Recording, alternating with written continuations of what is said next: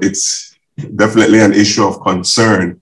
Um, we uh, were given a, a policy, uh, a workload policy that should guide the, the amount of courses that a lecturer teaches at the university.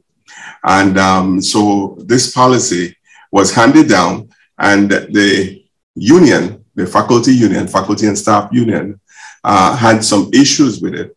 Uh, so uh, they reached out to me and I requested of them to document the issues that they have, uh, which they did. And um, I now have those issues and will forward to the Board of Trustees.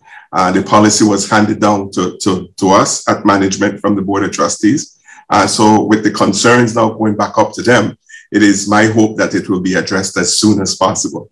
So uh, again, uh, we're trying to work with the union. We're trying to make sure that um, all goes well uh, with our faculty and staff.